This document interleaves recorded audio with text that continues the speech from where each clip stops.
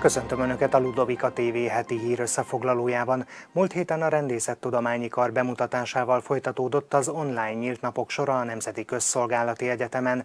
A Ludovika TV-n zajló élő műsorban Koltai András rektor arról beszélt, azért is érdemes ide jelentkezni, mert a végzettekre kiszámítható karrierpálya vár a diploma megszerzését követően, és ez különösen igaz a rendészeti jellegű képzéseket elvégzőkre. Rozsonyi Péter BV dandártábornok a kar dékánya pedig arról szólt, hogy az emelt szintű érettségi és a nyelvvizsga mellett fizikailag felkészültnek, pszichésen stabilnak, érzelmileg kiegyensúlyozottnak kell lenniük a jelentkezőknek.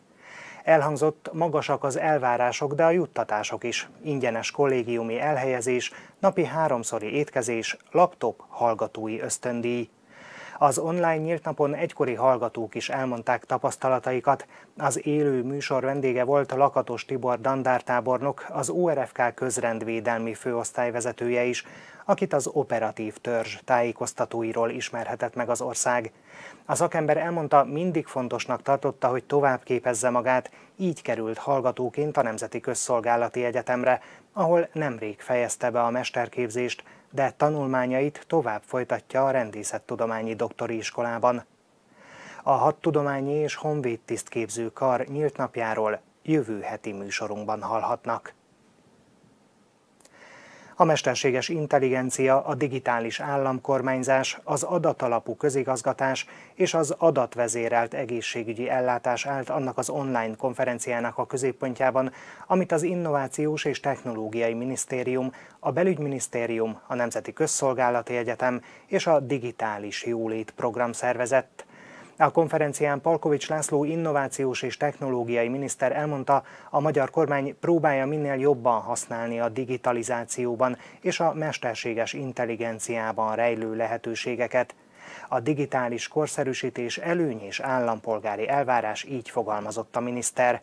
Koltai András, az NKR rektora pedig azt hangsúlyozta, a mesterséges intelligenciát és az új technológiai vívmányokat a döntéshozatal és a probléma megoldás folyamatába is be kell építeni.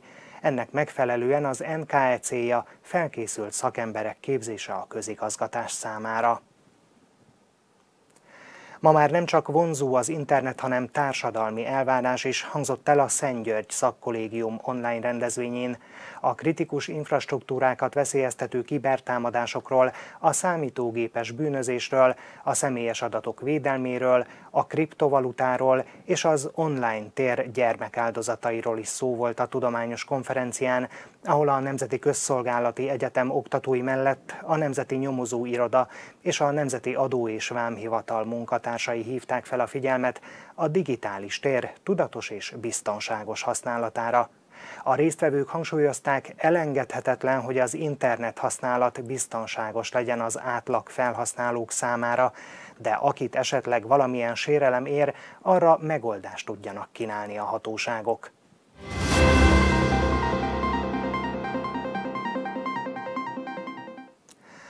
A második világháborús német, lengyel és orosz emlékezet politika változásairól vitatkoztak a Közép-Európa Kutatóintézet online konferenciáján.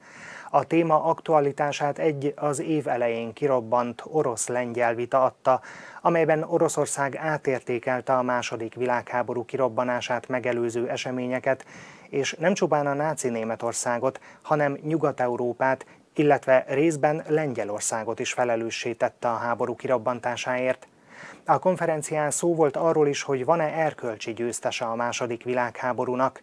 Mint elhangzott, áldozatvállalás szempontjából Lengyelország nevezhető győztesnek, de Oroszország is, méghozzá azért, mert ebben a háborúban minden hetedik szovjet állampolgár, összesen 27 millióan haltak meg, azaz a háborúnak inkább áldozatai, nem pedig erkölcsi győztesei vannak, összegeztek a résztvevők. Igazi választásdömpinget hozott az idei év a Balkánon, ez nem kedvezett a koronavírus járvány megfékezésének, amelyet a szerb ortodox egyház és tüntetések sora nehezített. Erről beszéltek a térség szakértői a Stratégiai Védelmi Kutatóintézet online workshopján. Elhangzott az is, Újrázott a koalíció Észak-Macedóniában, a legnagyobb meglepetést pedig Montenegró okozta, ahol 30 év után hatalomváltás történt, aminek mozgató rugója az egyházügyi törvény elfogadása, ami mutatja az ortodox egyház politika formáló erejét. A konferencia NKS résztvevője Ördög Tibor arról beszélt, Szerbiában a kormánypárt és Alexander Vucic elnök túlnyerte magát megszületett az a dolog, hogy a 250 főből 243-an vannak benne a kormányzatban, és heten ellenzéki szerepkörben vannak a parlamentben. Mindig el szoktam mondani, hogy milyen ciki lenne, amíg ezt a két bosnyák-albán csoportot is így belevették volna, és tényleg senki nem lett volna már, aki ellenzékként fel lehetne mutatni, mennyiben érdekes demokrácia. Úgyhogy elindult egy, egy látszat demokráciának az emlegetése Szerbiában a választás után. Ahogy jól mondta, diplomatikusan kicsit túlnyerték magukat a haladók. Ez a demokrácia akkor is veszélybe kerül, ha Trump marad hivatalban, és akkor is, ha Biden kerül hivatalba.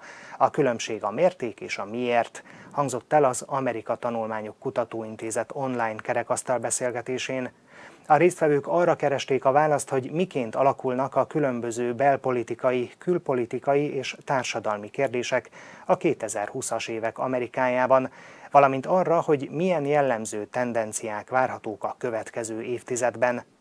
Bár az értekezés fő témáját nem az elnök választás adta, Csizmazia Gábor intézetvezető hangsúlyozta, a folyamatok vizsgálata elválaszthatatlan az idei választások eredményétől.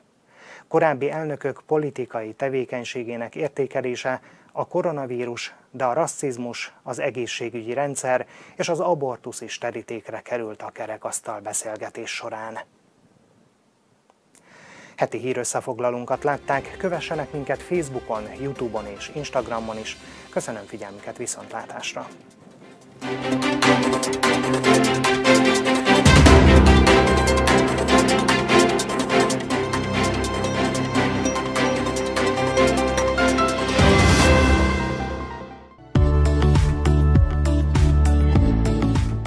Ez a Szent Miklós napi legenda és a Magyarországon a Kárpát-medencében hozzá köthető Mikulás legendá, ez a multikulturalizmusnak a nagyon pozitív oldalát villantja föl, ami rengeteg népet hoz össze. Az egyháznak arra van szüksége itt a 21. században is, hogy a hívei azok valódi hívők legyenek, hiszen mit sem ér a, a kereszténységünk, hogyha emögött nincs valós, valós gyakorlat, uh, hanem valljuk meg a hitünket, és Ratzinger azt mondja, hogy erre lenne szükség, hogy ne pusztán egy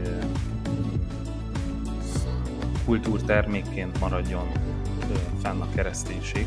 Olyan püspököket szerettek volna látni az egyház igazgatásnak, a helyi egyház igazgatásnak az élén, akik hűségesek az új főhatalomhoz. Most ezt is azért fontos megemlíteni, hogy itt nem arról volt szó, hogy, hogy mindenki, az egész katolikus egyház úgy, ahogy van, szerette volna megőrizni a régi struktúrákat.